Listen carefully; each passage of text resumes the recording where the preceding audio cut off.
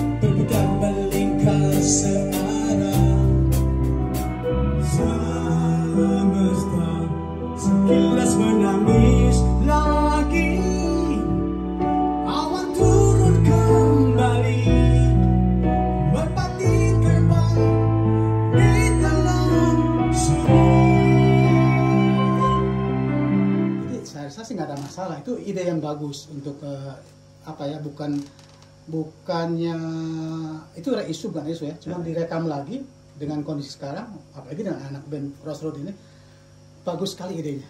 Dan saya sih siap gabung. Apalagi kan kita albumnya lagu-lagu Faris yang di Solo ah, saya itu bagus-bagus. Orang belum ada yang dengar sekarang lagu-lagu iya. itu. Kenapa Iya. tidak digali lagi gitu dengan versi sekarang? Iya, Aku seneng iya. banget. Betul. Kalau ada yang mau mensponsori The Major, ya silahkan. Mm-mm. Daripada kita diduluin sama publisher luar negeri kan, Iya. kenapa tidak prefer ke lokal dulu gitu. Oke, oke.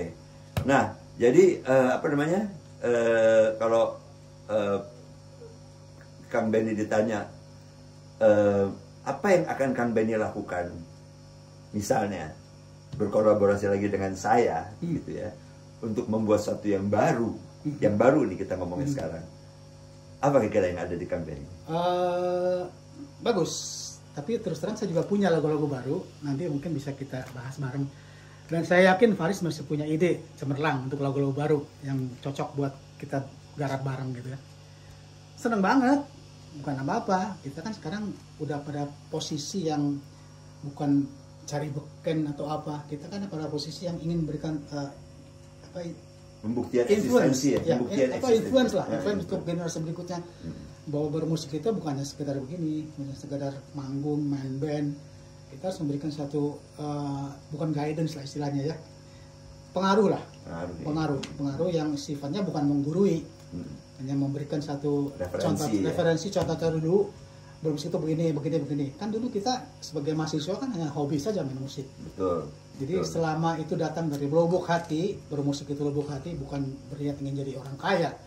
Jadi hanya betul-betul mengekspresikan uh, jiwa yang terdalam untuk mengekspresikan musik ataupun protes lingkungan kalau ada.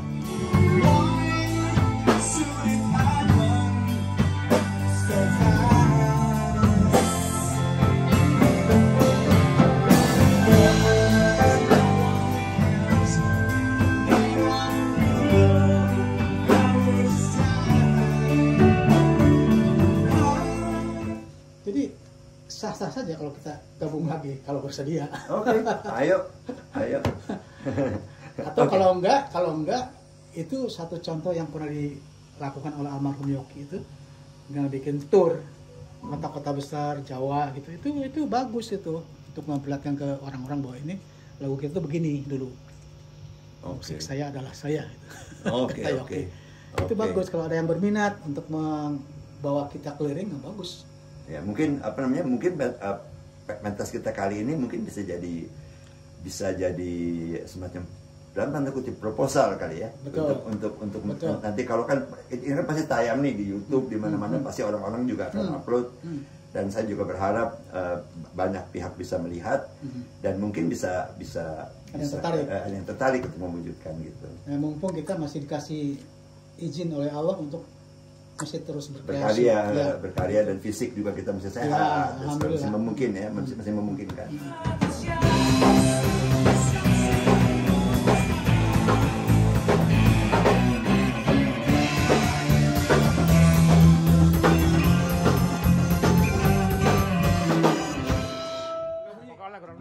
Tes, tes, tes, tes. Tes. Tes, tes. Tes, tes, ya, tes. Tes. Rip, jangan lupa Rip. Oh ya lupa. Tes, tes. Oh, kamu nyanyi. Oh, dipakai. ini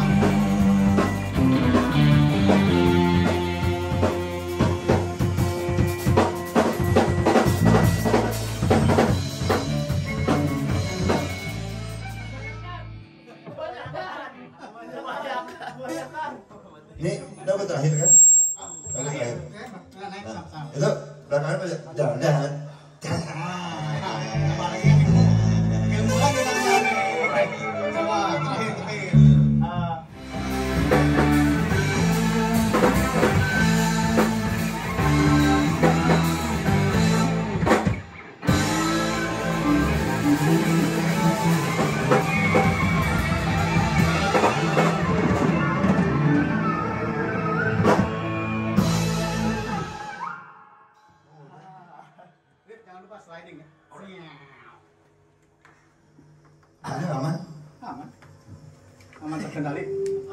Oke sahabat, itulah eh, bincang-bincang sedikit eh, backstage di episode backstage melalui YouTube Farsa dan Publishing Channel.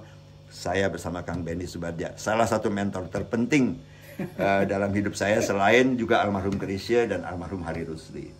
Kita ikuti terus sampai nanti di backstage di balik pentas saat kami berpentas. Ikuti terus YouTube Farsa dan Publishing Channel dari saya dan Kang Benny. Assalamualaikum warahmatullahi wabarakatuh. Salam sehat dan senantiasa berkah.